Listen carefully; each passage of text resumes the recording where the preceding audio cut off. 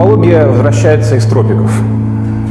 Это тезис Бруно Латура из его знаменитой работы 91 года «Ну навон jamais été модерн». Мы никогда не были людьми модерна, в которой а, Латур а, разрабатывает э, проект, философский проект, который он называет симметричной антропологией.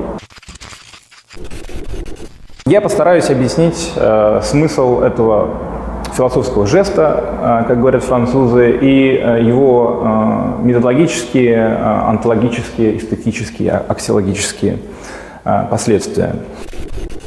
Латур говорит о том, что симметричная антропология основывается на трех принципах.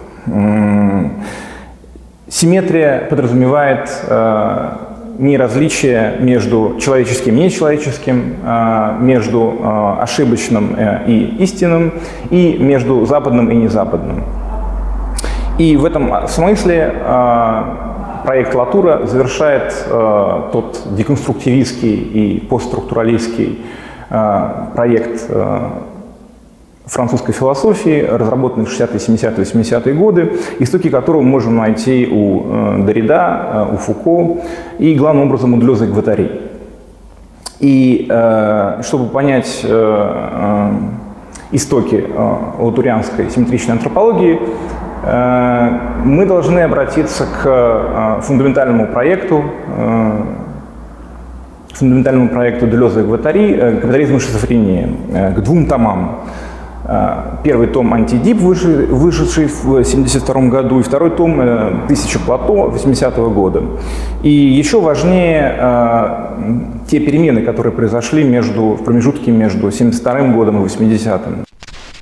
Антиэдипе, в третьей главе антиэдипа, а, главным моментом а, была а, проекция, скажем так, не просто марксистской, а продуктивистской методологии на изучение домодерных обществ. И Делез и Гватари через этот продуктивизм анализировали примитивные и варварские, то есть домодерные сообщества. Тогда как в тысячи плато произошло э, принципиальное изменение. Э, в тысячи плато э, происходит не проекция продуктивизма и некоторой модернистской методологии для изучения примитивных или домодерных сообществ. В тысячи плато происходит нечто прямо противоположное.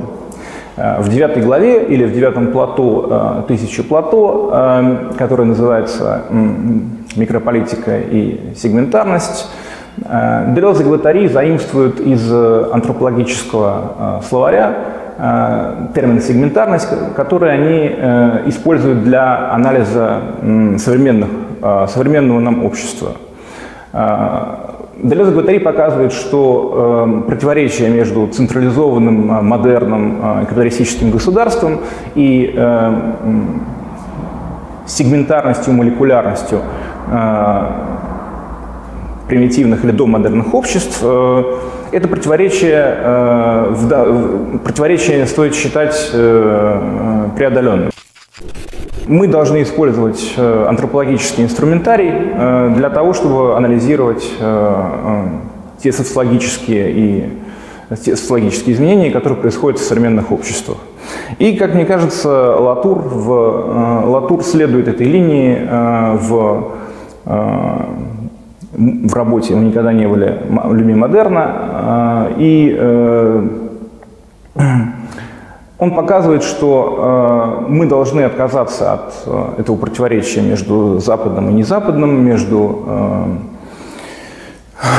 между модерном и архаикой, между обществом и природой. И этот проект развивается в его в следующей работе Э, капитальной э, политики природы, где э, Латур осуществляет радикальную критику дихотомии или то, что, того, что он называет темпоральной машиной модерна, которая порождает дихотомии, преследующие да, современную, современную философию общества модерна, это дихотомия между человеческим и нечеловеческим, между обществом и природой, между природой и культурой, знаменитая э, дихотомия Леви-Стросса.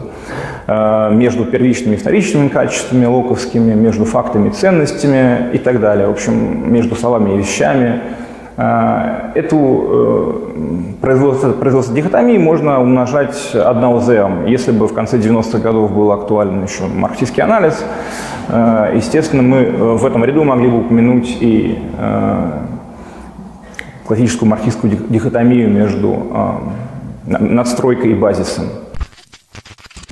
Эта, собственно говоря, э, операция методологическая, она э, делает возможным, по сути дела, э, и онтологический, онтологический перевод в антропологии.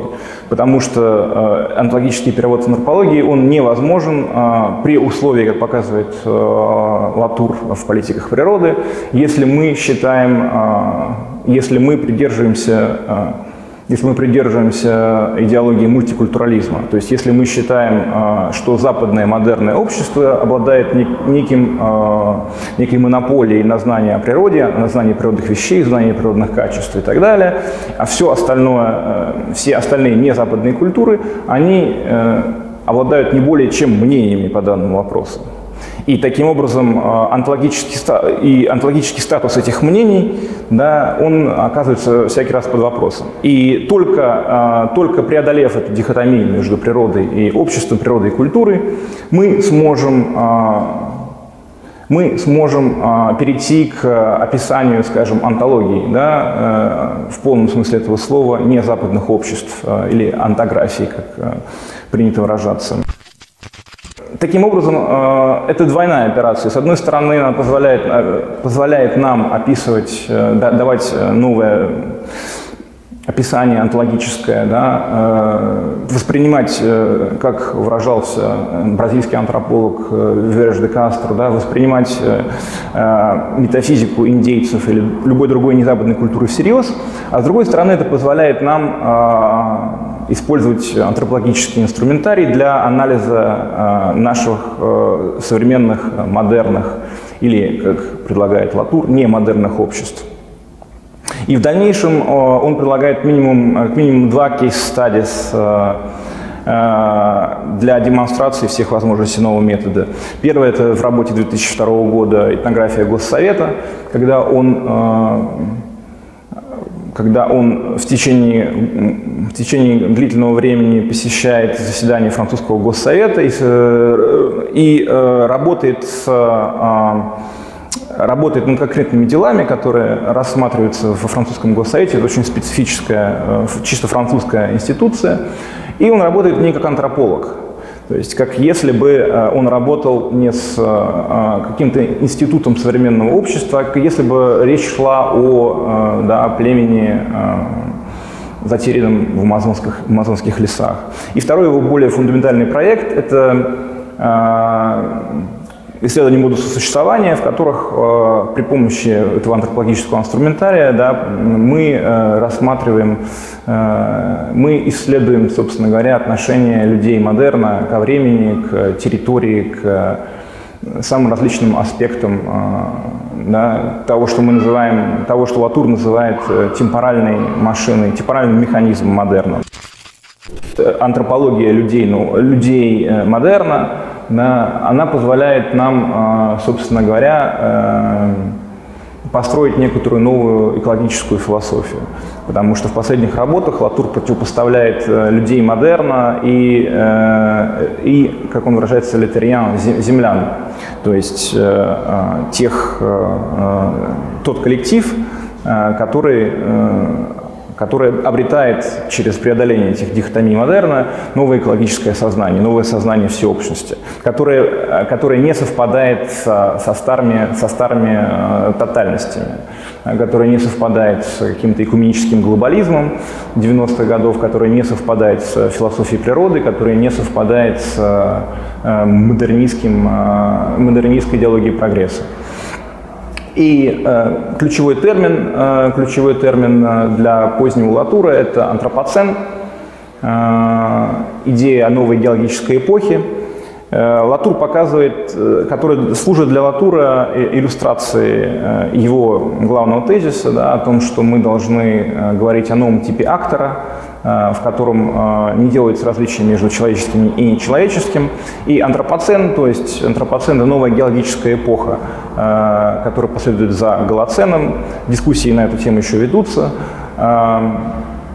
Антропоцен э, свидетельство, э, свидетельство того, да, что э, никакого человеческого мира, э, никакой, принципиальной, э, никакой принципиальной разницы, да, никакого великого разделения между человеческим и нечеловеческим миром не существует. То есть э, последствия, э, деятель... последствия деятельности человечества, последствия модернистской, э, последствия модернистской идеологии, они имеют непосредственное влияние и становятся ключевым фактором, становятся ключевым фактором геологических изменений. Да, они воздействуют некоторым фатальным образом на ту критическую зону, на те два километра, которые делают возможным жизнь на Земле. И Латур это формулирует Э, в таком Латур это формулирует, э, перефразируя Шекспира. В настоящий момент существует э, вопрос to modernize or to ecologize, да, модернизировать или экологизировать. И, собственно, весь этот проект симметричной антропологии, он позволяет нам, позволяет нам сформулировать позволяет нам сформулировать э, те положения э, антропологии модерна, да, отношение ко времени, отношение к Земле, отношение к прогрессу, отношение к производству, э, которые, собственно говоря, должны стать основой новой, новой экологии или политической экологии, как это формулирует Латур.